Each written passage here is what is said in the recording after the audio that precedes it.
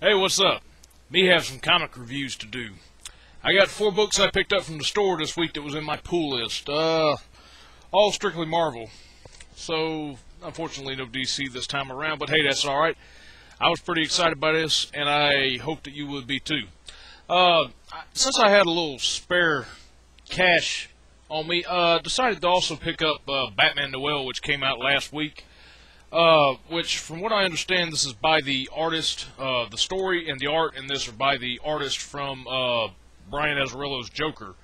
Uh, so I just couldn't pass up on this. Uh, haven't read it yet, but hopefully we'll and review it sometime tomorrow or later on in the week. But for my comic reviews, let's just go ahead and get down to business. Start out with Wolverine number 18 by Jason Aaron. Uh, we're continuing the Chinatown story arc, which is going on in here. The uh, little Black Dragon organization that Wolverine left leaderless, and they basically fell into some bad stuff. And now Wolverine has to take on uh, this chick who's known as the Jade Claw, which he doesn't meet this issue. But uh, we get to find out exactly what her plan is, and the fact that she wants to be the the drug queenpin of the world. Uh, and they kind of lay out in this issue about how evil that she is and all that. Um, Wolverine and Gorilla Man have teamed up to take on this group, and guess what? They're fighting some big fucking dragons in this issue. That's right. Uh, they fight off a bunch of bad guys, and after hacking and slashing their way for a little bit, uh, they wind up in a sort of drawn and quarter type of problem in between two dragons.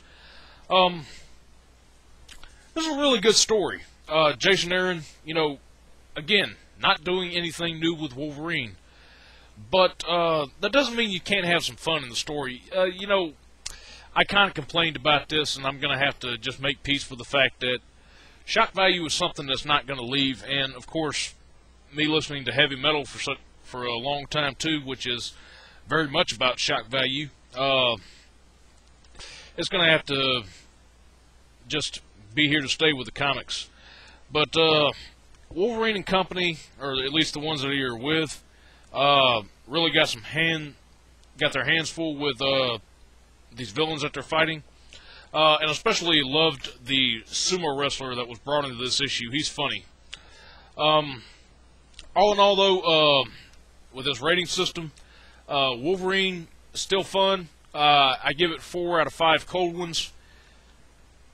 Uh, can't wait to see what happens next issue. Next up, we have X Men Legacy number 258 by Mike Carey. Uh, as you can see here, poor little Rachel Summers is in the the grip of Friendless, the little interstellar cockroach, who was uh, kind of messed up the the space station that they're on, and is flying it into the sun. And they have to do something to hurry up and get their asses out of there before they're crispy critters.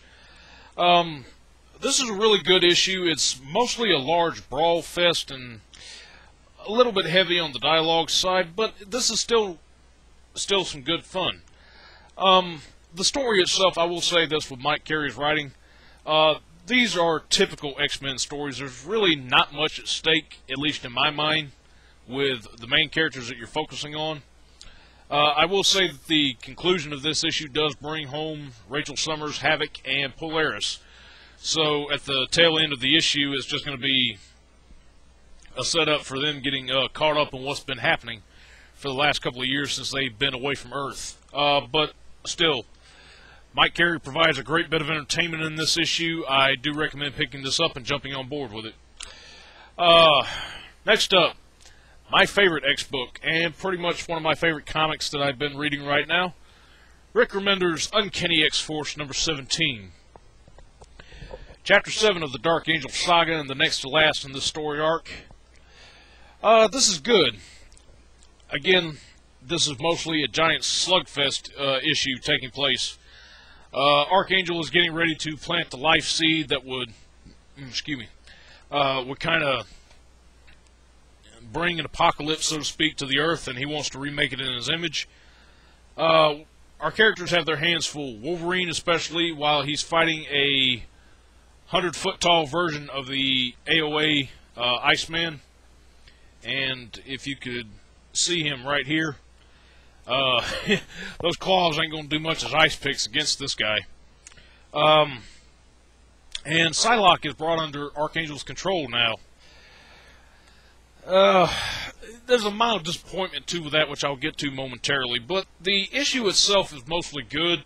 Uh, a large slugfest, and we do get some cavalry brought in to help take care of Archangel while they still can. Uh, Nightcrawler especially is a badass in this issue, and I really look forward to seeing him uh, in the new X-Force stories after this one is over with. Um, Opeña's art, as always, is still good. Uh, gritty type of cinematic art, just beautiful to look at. There is, however, a problem which I come to with uh, Psylocke. A minor spoiler. This is the shortest brainwashing that I've seen of a character. She was under his control, and they do manage to break her out of it uh, by the end of this issue. Uh, they kind of built up to it for like the last issue or two, and when they finally break it, very, very anticlimactic. Uh, this is really the, the biggest thing that I've had to get on to Remender 2 so far because they kind of built this, built up her being put under Archangel's control, and then it's over and done with just like that. But uh, the final part of this issue does leave for what hopefully will be an interesting conclusion. Uh, and I think that this is easily the best, one of the best story arcs that I've read so far this year. Um, buy it. Uh, if you haven't been reading it, I don't know why. I think you're missing out on something good. And finally, let's round this out with uh, Trip to the Ultimate Universe and jump into Ultimate Spider-Man number 4 by Brian Michael Bendis with art by Sara Pichelli. This issue is better than the last ones. Um, this issue mostly uh, gives Miles a crash course in why Peter Parker did what he did when he was Spider-Man, and kind of lets us know at the time exactly when it takes place. Uh, I did not read Ultimate Fallout, so I, I do know that Miles kind of debuted in there, but they didn't really cover much of him. Uh, this issue pretty much establishes that he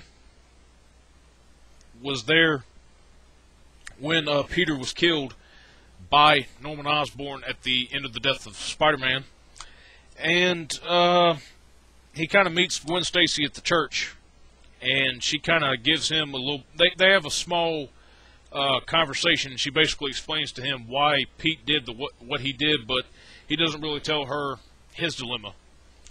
Um, I kind of started feeling like they uh, Bendis had rushed this out a little bit, but I went back and I read it a second time, and it kind of makes sense because he's trying to hurry up and bring, bring things up to speed, and I don't think that it's been you know as busy as what Action Comics was that I complained about last week. Uh, Bendis is doing a good job pacing this out, and the ending leaves us uh, meeting up with uh, an interesting character from uh, the Spider family in here. Um, all in all, it's a good issue. Been a small but good week in comics, and I do hope that you think about picking up some of these books if you missed them. Uh, until next time, I will catch you guys next week, so have a good one.